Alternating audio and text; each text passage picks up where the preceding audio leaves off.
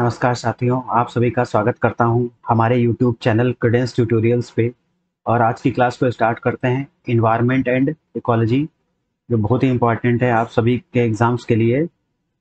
पर्यावरण एवं पारिस्थितिकी, ये यूपी पी हुआ यूपी टेट हुआ सी टेट हुआ, इन सब एग्ज़ाम्स के लिए बहुत ही इम्पोर्टेंट है। स्टार्ट करते हैं पर्यावरण से। पर्यावरण होता क्या है, ये देख लेते हैं। इसको संधि विच्छेद करेंगे, परि प्लस आवरण। ठीक है? परि मतलब होता है हमारे चारों ओर।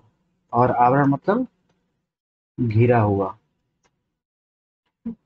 चारों ओर जो घिरा हुआ वातावरण होता है उसे पर्यावरण कहते हैं।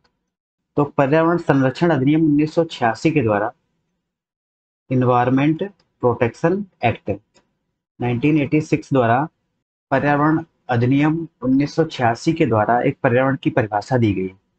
पर्यावरण किसी जीव के चारों तरफ़ घिरे भौतिक एवं जैविक दशाओं एवं उनके साथ अंत क्रिया को सम्मिलित करता है। तो कोई भी जीव और जंतु हो, उसके चारों ओर जो भौतिक या जैविक दशाएँ हैं, उनके साथ उसका पारस्परिक संबंध क्या है, वो पर्यावरण कहलाता है। ठीक है? तो कौन सा मानव पर्यावरण का विध्वंसक माना जाता है? प्रौद्योगिकी मानव, जो प्रौद्योगिकी मानव है टेक्निकल ह्यूमन है, उसे पर्यावरण का विध्वंसक या विनाशक माना जाता है। खेती की सर्वाधिक पुरातन प्रणाली कौन सी है? झूम कृषि। झूम की खेती किधर होती है? कौन से रीजन में होती है? वो नॉर्थ ईस्ट या हिली एरिया में। हिली एरिया एरिया जो है, वहाँ पे झूम की खेती होती है। कौन सी विधा ने मानव को सामूहिक जीवन प्रदान किया है? तो कौन सी विधा है वो? पशुपालन। तो पशुपालन जो है, मानव को सामूहिक जीवन प्रदान किया है। मनुष्य के लिए सर्वाधिक कार्यक्षम तापमान और आर्द्रता कितनी होनी चाहिए? ह्यूमिड टेम्परेचर और ह्यूमिडिटी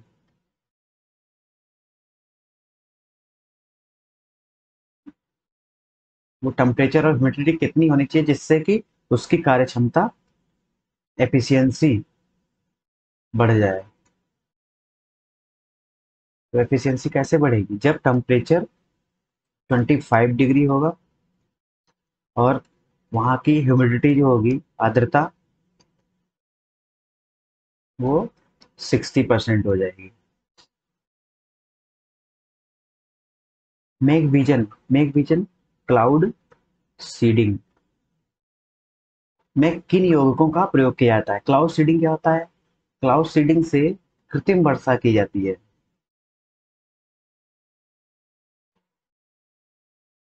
ठीक है क्लाउड सीडिंग द्वारा कृत्रिम वर्षा की जाती है। इसमें ठोस कार्बन डाइऑक्साइड और आयोडीन का यौगिक होता है सिल्वर आयोडाइड एजीआई का मिश्रण का छिड़काव किया जाता है, जिससे वहाँ पे कृत्रिम वर्षा होती है।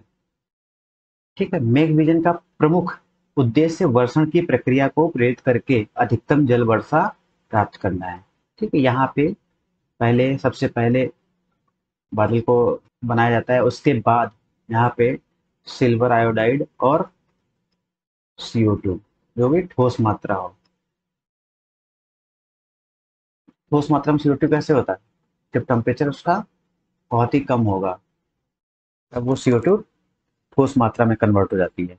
उस दोनों को मिला के मिश्रण को उसका छिड़काव किया जाता है, जहाँ पे वर्षा करानी होगी। तो वो उस बादल से प्रेसिपिटेशन बारिश स्टार्ट हो जाती है। प्रेसिपिटेशन यहाँ पे स्टार्ट हो जाएगा। नेक्स्ट क्वेश्चन क्लोरोफ्लोरोकार्बन के बाद ओजोन स्तर का दूसरा विध्वंसक किसे कहा जाता है? नाइट्रोजन डाई ऑक्साइड को नाइट्रोजन डाइऑक्साइड को ओजोन लेयर का विध्वंसक कहा जाता है। सबसे पहले सी एफ़ सी फिर NO2 ओजोन स्तर के क्षरण का पता सर्वप्रथम लगाया। ओजोन स्तर का क्षरण का जो क्षरण होता है, उसका डेप्लीशन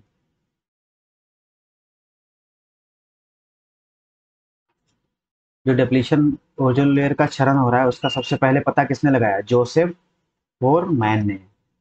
इन्होंने 1985 में एक पेपर पब्लिश किया, जिसमें बताया कि ओजोन लेयर का क्षरण हो रहा है। और इन्होंने अपनी जो रिसर्च थी, वो साउथ पोल पे की थी अंटार्कटिका पे।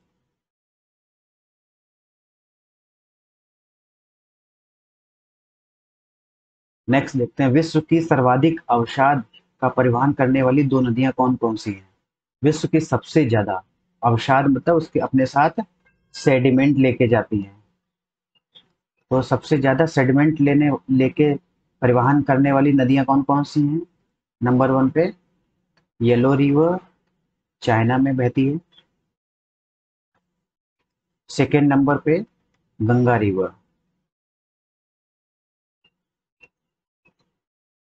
ये इंडिया में फ्लो करती है।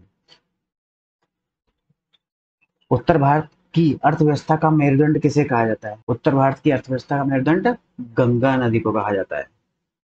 गंगा रिवर को रिवर गंगा को। उत्तर भारत की अर्थव्यवस्था का मेरुदंड कहा गया है। पश्चिम बंगाल का शोक दामोदर नदी को कहा जाता है। पश्चिम बंगाल का शोक दामोदर नदी को कहा जाता है। बिहार का शोक कोसी नदी को कहा जाता है। ठीक है? दामोदर नदी परियोजना किस नदी परियोजना की अनुकृति है? जिसके जैसी है। तो दामोदर नदी परियोजना जो यूएसए में टेंसी रिवर परियोजना है, टेंसी घाटी परियोजना है, उसका ही रूप है। तो टेनेसी घाटी जो है, टेंसी रिवर ये फ्लो कर रही है। टेंसी रिवर और ये जो रिवर है ओहियो रिवर ओहियो रिवर की सबसे बड़ी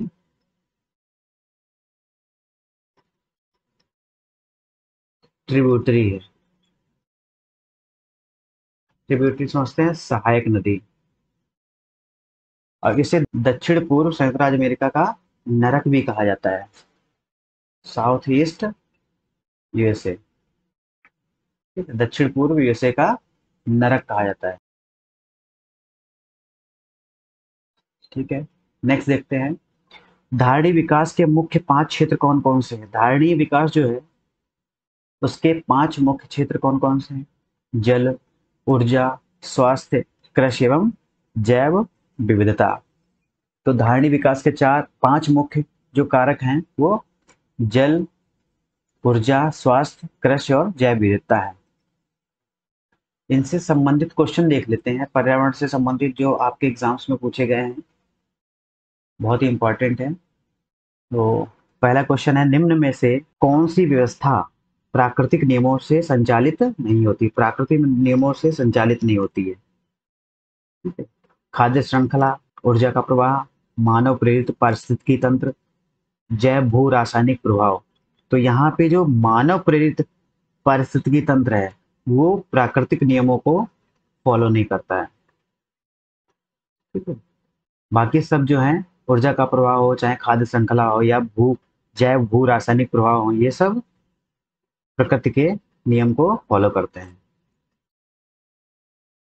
ठीक है? देखिए, यहाँ पे सी ऑप्शन सही है। सेकंड क्वेश्चन देखते हैं। वनों को काटने का परिणाम होता है। जो वनों को काटने का क्या परिणाम होगा? वर्षा और नमी में कमी आएगी, मिट्टी का क्षरण और अनियंत्रित बाढ़ आएगी, उष्णता में कमी आएगी, इनमें से कोई नहीं। तो यहाँ पे वनों को काटने का परिणाम क्या हो सकता है? यहाँ पे वनों को काटने का परिणाम मिट्टी का क्षरण और अनियंत्रित बाढ़ आ सकती है। ठीक है, यहाँ पे बी ऑप्शन सही है। मिट्टी का क्षरण हो सकता है और अनियंत्रित बाढ़ आ सकती है। संयुक्त राष्ट्र संघ ने वर्ष 2002 को किसका किसका अंतरराष्ट्रीय वर्ष चुना है? 2002 को किस संस्था का अंतरराष्ट्रीय वर्ष चुना है?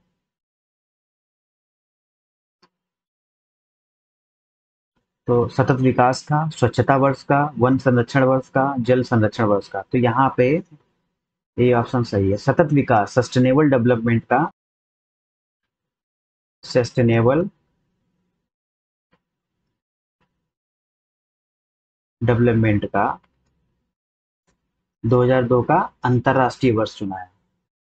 ठीक है? नेक्स्ट क्वेश्चन पारिस्थितिकी तंत्र में एक टिकाऊ जैव समूह है। पारिस्थितिकी तंत्र में एक टिकाऊ जैव समूह कौन सा है? संक्रमण इकोटोन अनुक्रमण, सक्सेशन, चरम अवस्था क्लाइमैक्स और क्रमिकी।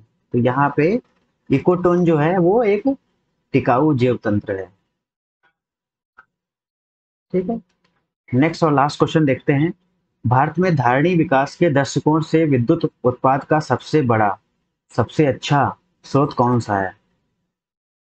नेक्स्ट एंड लास्ट क्वेश्चन देखते हैं। भारत में धारणी विकास के दृष्टिकोण से विद्युत उत्पाद का सबसे अच्छा स्रोत कौन सा है? कोयला खनिज, तेल एवं गैस, जल विद्युत और परमाणु ऊर्जा। तो यहाँ पे सबसे अच्छा विद्युत उत्पाद का स्रोत कौन सा है? जल विद्युत। Hydro electric. Hydro electric power जो है, वो धारणी विकास की दृष्टिकोण से सबसे अच्छा स्रोत है। यहाँ पे सी ऑप्शन सही है। चलिए, आज की क्लास को यही समाप्त करते हैं और आशा करते हैं कि आपको ये लेक्चर आपको अच्छा लगा होगा। अगर हमारा ये लेक्चर अच्छा लगा है तो मेरे चैनल को सब्सक्राइब कीजिए शेयर कीजिए और बेल आइकन दबाना मत भूलिए और अपने दोस्तों को भी शेयर कीजिए। धन्यवाद। जय हिंद, जय भारत।